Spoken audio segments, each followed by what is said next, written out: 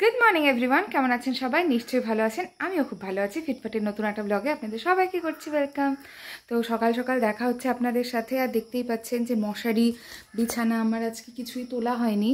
আর আজকে আমি তুলবও না। কারণ এই সব কিছু এখন আমি একদম ডিরেক্ট কাচতে দেবো। গতকাল রাতে একে তো এই গরম টরম সব কিছু ঝামেলা ছিল। তার সাথে আবার আর ঝামেলা, সেটা হলো ওই ছোট ছোট পিঁপড়ে। পিঁপড়ে, এসে মানে পিঁপড়ে আমরা বলি, এখানে সাতাশি পিঁপড়ে, জানি না আপনারা কি বলেন? ছোট ছোট মানে পিঁপড়ের মতোই হয় দেখতে। ওটা এক ধরনের পিঁপড়েই, কিন্তু মানে ভীষণ বিষাক্ত মানে ভীষণ লাগে যখন কামড়ে দেয়। তো আমাদের প্রচুর, এই আমার এই জায়গাটাতে না হলেও এই পেছন দিকটাতে মানে কাঁধের এই পেছন দিকটাতে অন্তত সাত আটটে তো কামড়েইছে। তো এগুলোকে সব এখন উঠিয়ে টুঠিয়ে কাচতে দেবো। জানি না কোনো ইয়ের থেকেই এসছে নাকি কি অনেক খুঁতখুতি। একদম সব কিছু কেচে দেবো। এই দেখুন, একটা চন্দন জবার গাছ, কত ফুল হয়ে আছে। অনেক ফুল হয়েছে, আর এটা সাদা ফুলের গাছ মানে আমরা কড়ি ফুল বলি। কড়ি ফুলের গাছও ভর্তি ফুলে।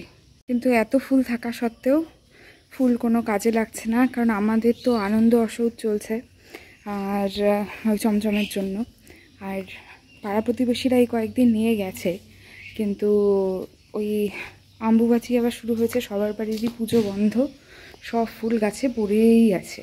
রান্নাঘরেও চলে গেছি, রান্না একটু বসিয়ে এলাম, ভাত হয়ে গেছে, ডাল সেদ্ধ মানে একদিকে প্রেশারে ডাল বসিয়ে এসেছি, আর আলু স্কোয়াশ দিয়ে একটা ডালনা করব, সেজন্য আলু স্কোয়াশটা ভাপাতে দিয়ে এসেছি। তো আমার আপাতত রান্নাঘরে কোনো যেহেতু কাজ নেই, তো একটু আমি কাজ এগিয়ে রাখি, ওই আজকে কি পড়ে যাব না যাব সেই সব কিছু একটু বের করে রাখি নাহলে পরে না পরে খুব জুলুম হয়ে যায়। এখন কিছু করার নেই, কাজগুলো এখন এগিয়ে রাখাটাই ভালো।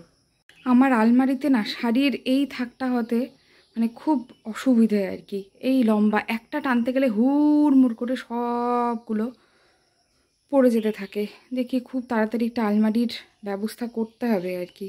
সবগুলো থাকে এরকম এখানটাতে আমার ব্লাউজ ট্লাউজগুলো থাকে। মানে সবই এরকম লম্বা লম্বা লম্বা লম্বা। এটাই অসুবিধা এখন। দেখি আজকে কি পরে যাই। এখানে ডাল সম্বারের জন্য ডাল ফুটছে। এইখানটাতে হচ্ছে ঝিঙে, আলু পোস্ত, আলু করলা ভাজা হয়েছে।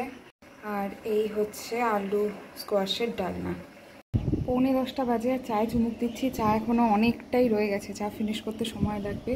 দেখি বন বন করে স্ট্যান্ড ফ্যান ঘুরছে। এত মানে গরম, কিন্তু চা না খেয়ে যাব না। স্নানে আর ওই যে মা দাঁড়িয়ে আছে। আজকে এমনিতেই হয়ে গেছে লেট তার উপর আবার কি বলি?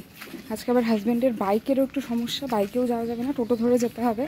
আর আমি টোটোতে গেলেই তো হয় এক এক দিন এক এক ইতিহাস। টোটো ভাড়া দেয় মানুষ পাঁচশো টাকা। কি বলব? চাই টোটোটা এখন তাড়াতাড়ি পেলে হয়। তো যাই হোক, টোটো আমি তাড়াতাড়িই পেয়ে গেছিলাম। এইবার এখানে আর একটা জিনিস দেখুন, রাস্তার ধার দিয়ে ধান শুকোতে দেওয়া হয়েছে। এটা আমি মাঝে মধ্যেই লক্ষ্য করছি। আর বেশ কয়েকটা জায়গাতেই লক্ষ্য করছি। যদিও বাড়িতে জায়গা না থাকার জন্যে ওনারা এটা করেন, রাস্তায় শুকোতে দেন। কিন্তু পথচারীদের জন্য কিন্তু এটা মারাত্মক অসুবিধের আর আশঙ্কার তো বটেই। একে তো রাস্তার স্পেসটা কমে যায়, এখানে এই যে, আবার দেখুন। স্পেসটা কমে যাওয়াতে একটা যানজটের সৃষ্টি হয়। সাথে এই গ্রেনগুলোর উপর দিয়ে বাইক বা সাইকেল যদি যায় যে কোনো সময় স্লিপ হতে পারে। এখানে দেখুন দুদিক দিয়ে গাড়িটা হুশ করে চলে গেল, ওইটুকু জায়গার মধ্যে দিয়ে। একটা টোটো, সাথে একটা গাড়ি। খুব টেনশনের এটা, খুবই টেনশনের। যেই পথে যাচ্ছিলাম, সেই পথেই ফিরছি, আবার সেখানেই দেখা হচ্ছে। মাঝে টোটোতেই গেছি, টোটোতেই ফিরলাম। সহযাত্রীদের অনেকের সমস্যা থাকে, অনেকে মিলে গেছি, তাই আর টোটোতে কিছু শ্যুট করা হয়নি। বাড়িতে ঢুকে গেছি। দরজাও খোলা হাজব্যান্ডও নেই ঘরে। কই যে গেছে সব কে জানে? এখন তাড়াতাড়ি ফ্রেশ হই চেঞ্জ করি, খাওয়া দাওয়া করি, তারপর দেখা হচ্ছে। খাওয়া দাওয়া টাওয়া দাওয়া শেষ করে এসে লাস্টের ভিডিওটাকে এডিট করে রেন্ডারিংয়ে বসালাম। আর দেখতেই পাচ্ছেন আমার বিছানায় এখনও তোষক। সকালে যে কেচে দিয়েছিলাম, বিছানা আজকে মানে আমার এই জালনাটা দিয়ে না মানে এখন তো পর্দাটা ইয়ে করা আছে স্প্রেড করা আছে, যখন একদম সরিয়ে রাখি, এই পর মানে এই জালনাটা দিয়ে না প্রচুর রোদ আসে। তো ওই পিঁপড়ের সমস্যাটা বলছিলাম। তো সেজন্যই আজকে চাদর টাদর কিছু পাই মানে পাতিনি যাতে একদম ডিরেক্ট সানলাইটটা এই তোষকের মধ্যে আসে। স্কুল টুল ছিল, সেজন্য তো ব্যস্ততায় আমার পক্ষে আজকে সম- সম্ভব ছিল না যে রোদে নিয়ে গিয়ে কোথাও দেওয়া বা কিছু। তো অন্তত ডিরেক্ট সানলাইট এসছে। এই এখন চারটা চল্লিশ বললামই, সেই সকাল মোটামুটি নটা, সাড়ে নটার থেকে নটার থেকে এভাবে খোলা পেয়েছে আর কি, খোলা রোদে রয়েছে। তাতে অনেকটাই কাজ হয়েছে। এবার আস্তে আস্তে বিছানাটা একদম গুছিয়ে ফেলল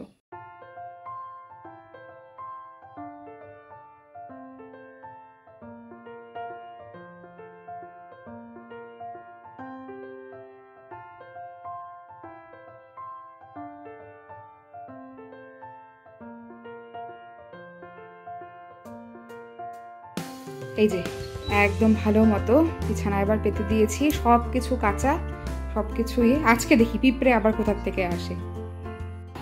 এই যে এই দেখুন আমি ফ্রিজ থেকে আনালাম মাজাটা এখন এনে নিজে খাচ্ছে। ছি ছি। আরে তুমি স্টার্ট করছ না আমি ভাবলাম যে না আমি একটু স্টার্ট করব ছি আমি জানতাম এখনই যদি ক্যামেরাটা অন না থাকতো এই ফ্যানও কিন্তু চলছে। জেনারেলি আমি যখন ব্লগ করি তখন ফ্যান অফ করিনি কিন্তু আমি এই মুহূর্তটাকে হাতছাড়া করতে যাচ্ছিলাম না যে কীভাবে চুরি করে আমার মাজা খাচ্ছে। চুরি করে কেন? আমি তো নিয়ে গেলাম। হ্যাঁ কিন্তু খাওয়ার কথা ছিল তো আমার। তুমি স্টার্ট করছ না আমি ভাবলাম যে একটু রেডি করে দিয়ে রেডি করে মনে হলো যে না একটু টেস্ট করে নিই। খুব চালাক হ্যাঁ।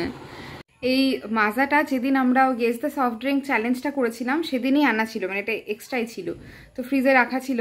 আজকে খুব গরম লাগছে, সেজন্য এটা বের করে নিয়ে এলাম।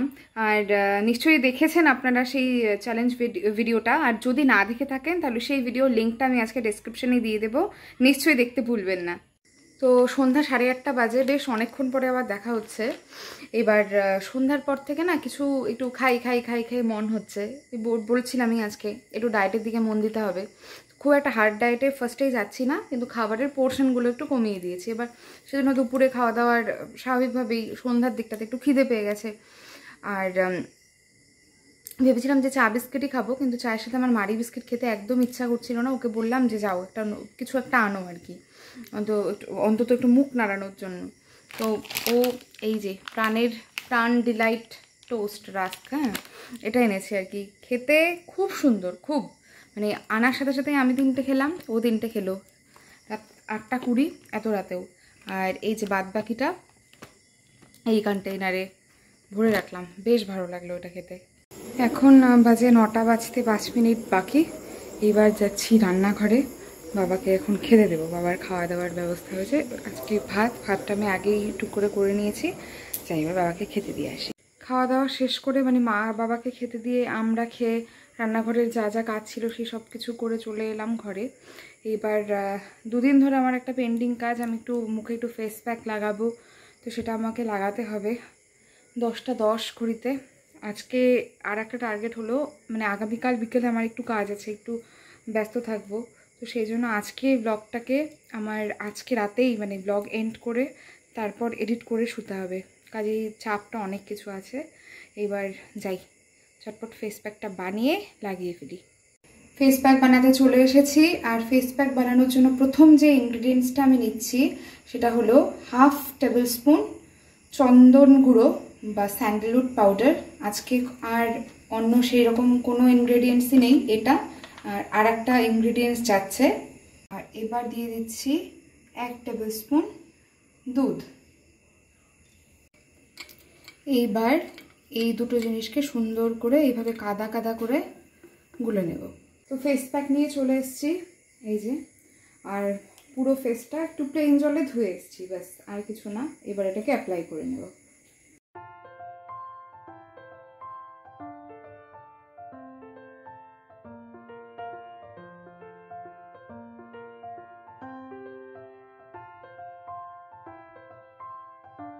ফেস প্যাক অ্যাপ্লাই করার কুড়ি মিনিট হয়ে গেছে আর দেখতেই পাচ্ছেন একদম খুব ভালো মতো ড্রাই হয়ে গেছে।